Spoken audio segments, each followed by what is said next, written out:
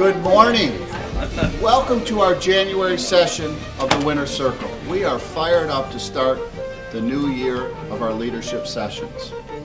It's always good to bring clarity to what we do. We bring in the best and brightest from our community and beyond to share with us just what it takes to succeed in classroom, uh, extracurricular activities, and in life itself.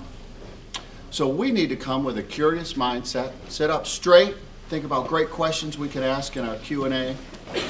Uh, before I introduce our speakers, I'd like to say a special thank you to Mrs. St. Pierre for bringing in and connecting us with our speaker today. So it's with that, and tradition of the Winners Circle, I'd like to introduce Gretchen and Ellie to introduce our speaker.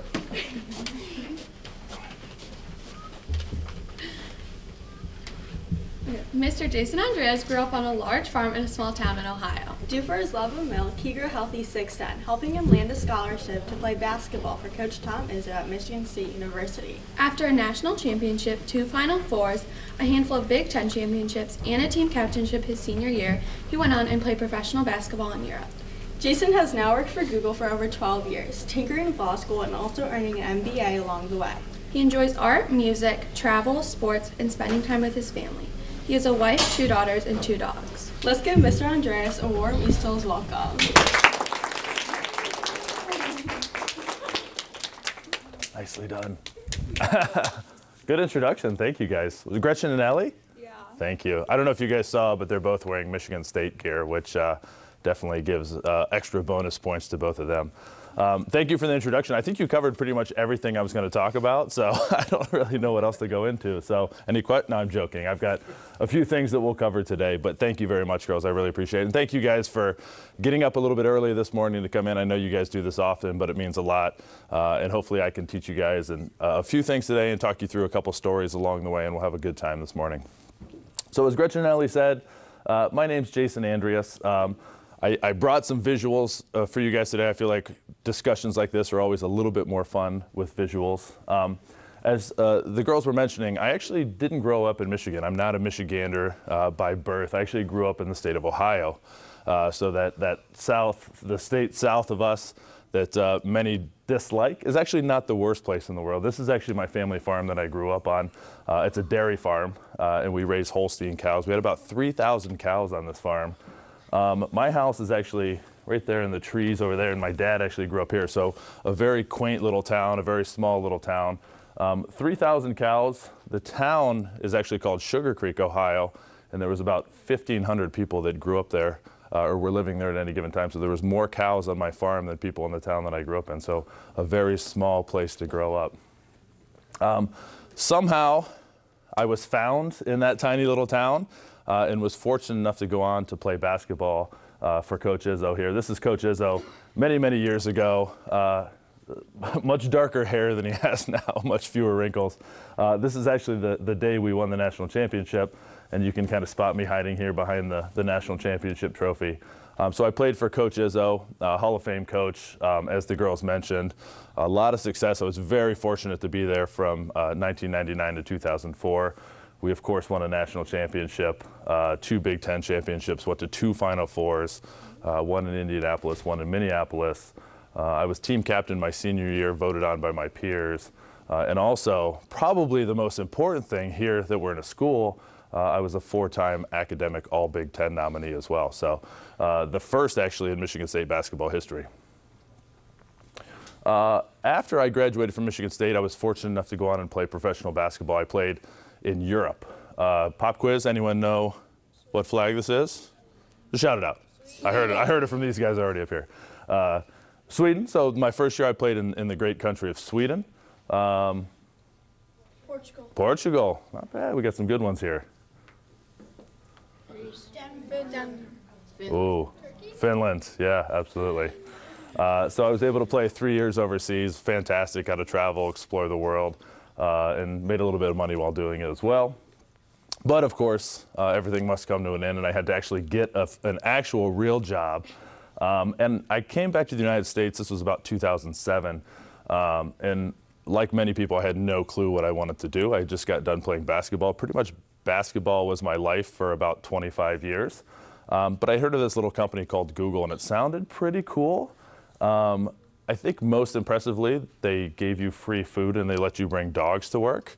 And I was like, well, that sounds like a pretty cool place. Uh, throw my application there. And uh, I've actually been working there for about 12 and a half years. These are some pictures. You've probably heard some things about Google. It's a pretty cool place to work. Um, these are some of the offices that I visited around the world. Um, this one's a lot of fun, as you can see. That's in Switzerland. Um, and uh, a really great place to work. I'll talk a little bit about that. I'll, I'll, I'll go into some details here and uh, wanted to kind of talk about, I suppose, from my perspective, uh, four or five things that I think help you kind of succeed, things that I've learned along the way, both growing up on a farm, playing basketball at a place like Michigan State, playing basketball overseas, and then working at a great company like Google a couple things that have helped me succeed. And I think that you guys can hopefully take some of these things, at least one or two of them, and apply them to some of the things that you guys are doing, whether it be school, uh, whether it be hobbies like art or music, whether it be athletics. Um, hopefully, you can take some of these along with you and apply them to the things that you're doing to help you either succeed more or find a way to succeed in the things that maybe you're struggling with as well. I narrow these things down to what I call the four P's. This is my humor for the day, huh? not bad. Um, so the five P's. Uh, the first one we'll start with. The first P, prioritization. So can someone, we'll do raise of hands here, can someone tell me what it means to prioritize?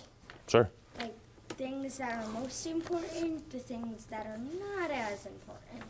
Perfect. I couldn't have said it any better myself. Um, here's kind of something that, that I look at on a daily basis. So are you spending the most time with the opportunities that will meaningfully lead to success and for you to win, something that we always focus on. And again, you can apply this to pretty much anything that you guys are doing. Uh, here's just a picture of our team here. I think this was actually in the national championship game, and somehow I got my name in the picture there, so I like that one. Um, some stories about prioritization that I think are really interesting. So, um, when I got to Michigan State, I was 18 years old. Actually, I was 17 years old. I hadn't quite turned 18. I was very young for my for my class. Um, our first meeting, we met with Coach Izzo, and we were obviously quite nervous. And he said, I want to tell you uh, a little bit about what it's going to be like to play basketball at Michigan State. Uh, and this lesson was on prioritization. He basically said, as a student athlete here at Michigan State, you have the opportunity to focus on three things. You can be an athlete, you can be a student, or you can focus on social life. That's a pretty easy uh, choice for most students because most students don't play sports, right? So they choose academics and social life. So they study, they take tests, they go to their classes, and they have a fun time and hang out with their friends on the side. Of course, what he's trying to lead us into is that uh, if we were to choose, let's say, social life and academics, well, of course, we're not choosing basketball, we're not choosing athletics, and our basketball life starts to slip. Potentially, we lose our scholarship and we're not playing anymore you lose your, your academics, you lose your social life anyhow. If you choose academics and social life, uh, excuse me, basketball and social life, your academics slip. If your academics slip to a certain point, again, you lose your scholarship and you're no longer playing basketball, you're no longer in school anymore. So what he was basically doing was showing us uh, in so many words that you kind of have to prioritize the things that are going to be most important for you guys. For us, it was basketball in academics. We really didn't have a whole lot of time to hang out with our friends and socialize. And that's one of the things you have to do. You have to sacrifice sometimes when you prioritize, as you were mentioning, what's most important to what's least important. We were there to play basketball, to get a to get a um, to get a diploma, to graduate, and those were the two things that we focus on. So sometimes prioritization means sacrifice, but that's okay as long as you're passionate about the two things that you're prioritizing over the others. Does that make sense? Cool. The second P, proactivity. With somebody else, what's it mean to be proactive? Anyone? We'll throw it back to the front again. So, proactivity, it's like something you really push yourself in that you strive to be really good at. Yeah, sure. That's not bad at all. So, are you thinking ahead? Are you anticipating and looking around the corner? So, are you really focusing on being good at one particular thing? Are you being proactive versus reactive or being lazy at certain things, right? Um, I don't know exactly what's happening in this picture, but I think this is Coach Izzo telling me that I need to be more proactive. I'm pretty sure. Um, time will tell, I suppose. Um, a story about proactivity, I, will use a lot of examples from my time at Michigan State. Um, I remember very vividly, it was the, the date was April 4th, 2000. I don't think any of you were born yet here in the audience. which is a bit scary to think about. Um, it was the day after we had won the national championship uh, in Indianapolis. And uh, we had been out celebrating all night the night before. We had hopped on the team airplane to fly home the next morning. And most of the, the players, our cheerleaders, the band, everyone that was on the plane with us, we were still celebrating. We were talking about what we were going to do when we got back to East Lansing. And I remember looking at the back of the plane where the coaches sat, and Coach Izzo and his entire staff weren't really reveling in the win like most of us were. They, of course, were happy that we had just won probably the biggest game of all of our careers. They were actually sitting there talking about what we were going to be doing for summer workouts, what players were going to be doing what, how, how uh, students' grades were, uh, what recruits they were looking at for the next season. So literally, we're 24 hours after the biggest game of any of our careers, and the coaching staff is already thinking proactively about what next season looks like. This is what leads to success, right? Not necessarily, it's, it's not necessarily bad to celebrate and enjoy successes, but those folks that are truly successful in life, they're always looking for what's next. They're always proactively looking to what they can do next to make themselves better. Um, proactivity is also about anticipation a little bit as well. So kind of shifting gears a little bit to my time at Google. One thing that we do, we uh, in, in, my role, I can talk about it a little bit later, maybe in the Q and A. But in the role that I have at Google, I meet a lot with customers, um, and uh, when we meet with these customers, we spend a lot of time of, of uh, proactively kind of thinking about not just what we're going to talk to them about, what type of Google products we want to talk to our customers about, but we try and proactively understand what might what questions might they ask us, right? What might they be interested in? Um, what concerns might they have in the conversation that we're having? Uh, and being proactive in doing something like that allows us to be prepared, right? So when we go into these meetings, if we've thought of the 20 or 30 questions that they may ask us, concerns that they may have, when they ask those questions, it's almost like a light bulb goes off and you're like, oh, I've already thought about this. I've already proactively prepared what's going on here. And it's really easy to answer those questions very confidently. For you guys, maybe it's like taking a test, right? If you're proactive in preparing for a test, when you start reading that first question, that second question, isn't it such a good feeling when you can kind of that light bulb goes off for you as well? And you're like, I know all the answers to these. This is really easy. And there's a big weight of relief that comes to you. On the opposite side, if you haven't proactively prepared and you don't know those, that's when panic sets in and you typically don't do a great job. So the more proactive you can be, usually the more success that you can find. Again, this is applied to school, sports, art, anything that it might be. The third P, halfway through, perseverance. Anyone know what perseverance means or what it means to persevere? Sure. Um, to keep going even if it's hard. Yeah, absolutely. That's exactly what it is. Spot on. So having heart hustle, being relentless in pursuit of your goals, even when things are hard.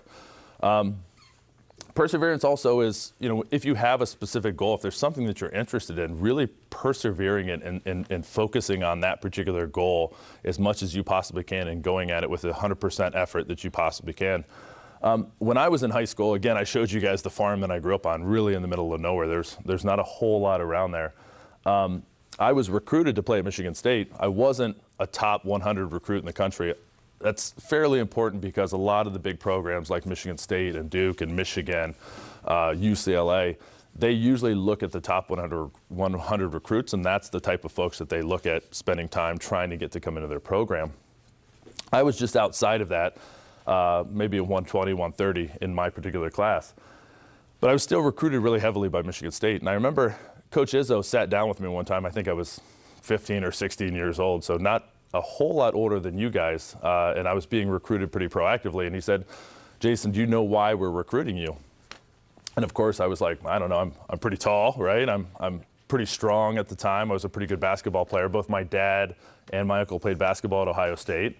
Um, and I thought there was some lineage there.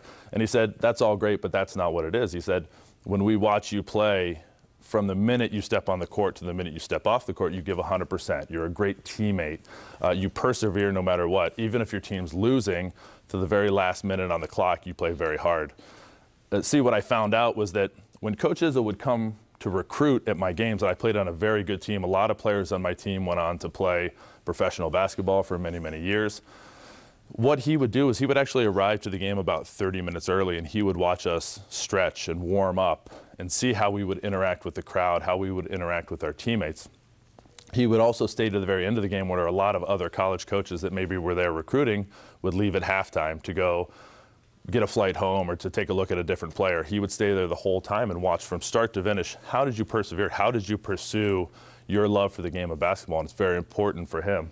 And that's why he, a lot of people ask, how does Coach Izzo continue to recruit really great players? That's what he does. He really looks at those players who persevere and are always very interested in achieving their goals. My goal was to play Division One basketball in the Big Ten. Um, and uh, really, there was nothing that would stop me from achieving that. And that meant hustling, stretching as hard as I could, interacting with my teammates, focusing on the game of basketball. That's what I did, and they caught that throughout the process. The fourth, preparation. This is a pretty easy one. Anyone? Preparation? Um, it's basically um, like, prep, like practicing or waiting. I don't know. Spot on. You got it. Keep going with it. Um, basically like our um, practicing for something and trying to get better for it, like waiting, like waiting for a game or Yeah. getting ready for it. Nailed it. Yep. Absolutely. So making the time to fully prepare, right? And to anticipate. So ensuring you show up your best every single day. Can anyone uh, guess what happened uh, at Michigan State if you were late to practice? Sure. Um, I don't know. Skip. Sure. We'll go over here. Get benched. Benched. Yeah. You, you're like not as ready and you don't play your best because Yeah. you're not warmed up and Yeah. ready to play. Sure. Coach yells at you. Uh, it's actually, those are probably all right, but it's actually a trick question. Um, in my five years at Michigan State, um, I did some quick math last night, and, and I roughly determined it was about a thousand practices that I participated in. Uh, and each year we had about 15 or 16 teammates, roughly. Um, in five years, believe it or not, not one person was ever late for practice, right? So we never found out what happened. First of all, I think because we were terrified as to what it would have been, but also because uh, we were taught very early when we arrived at Michigan State that uh, preparation is absolutely key, right? Being prepared, uh, making sure that you're warmed up, making sure your body's ready to go is, is key. See, at Michigan State, um, I'm sorry? It's like practicing for a test. Absolutely. It's like practicing for a test, yeah. If you don't, then you might fail. Yeah, absolutely. And the same thing applies to, to academics as it does to sports. Uh, we usually practice around 3 o'clock every afternoon after we had gone to classes for the day. And if practice started at 3 o'clock, we were expected to be there probably about 60 minutes early. So we're not just rolling in at 2.55, throwing our shoes on and going onto the court. We'd get there about an hour early. We would make sure that we were stretched. We'd make sure that our ankles were taped if we had any rehabilitation on any nagging injuries. We took care of those. We would get up into the gym, get some shots up, break a sweat so that when Coach Izzo rolled out roughly right at 3 o'clock, he blew the whistle and practice started full speed 100%. We were ready to go, right? Just like the preparation for a test. When that test hits your desk, you should be ready to go, not just waking up, getting ready, starting to think about what that test is about. Again, the preparation is for the game, for the test. So this is important. So when we actually got onto the court to play against, I think this is Kentucky we were playing against. Um, is a very good team. If we were to get there and the game starts, the ball goes up, and the ball is tipped, five, ten minutes into the game, we're just starting to get warmed up, ready to play, we'd be down by 20, 30 points. You need to be ready to go the minute the ball's tipped, and that's why that type of preparation is incredibly important as you get ready to play, to practice, to take tests, things of that nature. The last P, performance. That's a pretty easy one. Anyone? Anyone else? Performance. What's it mean to perform? like show like your best like good thing that you're really good at. Absolutely. Yeah, that's exactly what it is. So, how did you do? How, did you set out to do what you wanted to do? What are you the best at? What you participated in? What you prepared for? What you persevered? Right. Um, so, each year at Michigan State, uh, we typically would lead the entire country in rebounding, which means we got more rebounds by a long shot than most of the teams we played against. Um, we would practice incredibly hard. We ran a drill called the war drill, which uh, essentially was a rebounding drill that was much tougher than anything that would we would encounter in an actual game. In fact, if you did the things we did in that drill, you'd get fouls immediately from the referees and probably tossed out of the game. Um, but the purpose was to make the practices much harder than the performance, right? So as you prepared for these things, the last P uh, preparation, as you prepared to play in these games, essentially what happens is if you're if you're practicing and preparing at a much higher level, when you actually get to the game, the, the performance seems to be easy. That's the enjoyable part, right? The same thing for meetings, right? When I'm working at Google, the more that I prepare, when I get to the performance, when I actually have meetings with customers, that should be the enjoyable part. Um, another thing that we learn at Google actually too, which is really interesting, is that performance doesn't always have to be positive, right? It, we learn at Google that it's actually okay and sometimes encouraged to fail. Uh, the important thing though is if you're failing, that you're learning from it and changing what you learn very quickly into a positive. Um, as an example, uh, if you are encouraged not to fail, uh, what typically happens, right? You're going to go out there and you're going to probably take the path of least resistance. You're going to try and take it easy, right? You're going to probably do a good job, but maybe not really push yourself to be the absolute best that you can. Whereas if you're encouraged to fail uh, or to learn from your fail- failure and, and you feel comfortable with that, you might go out there and say, all right, well, listen, if, I, if it's okay that I fail, uh, I'm probably going to maybe try a little bit harder, maybe take some risks that maybe I wouldn't have taken. And sometimes that's when you reach that top of the performance. So, really, what's important is taking account for what you're doing, what your performance looks like. Did you prepare properly? If you did, why did you succeed? If not, what led to that lack of success in the performance as well? So, the five P's. Can you remember all of them? Prioritization, proactivity, perseverance, preparation, and performance.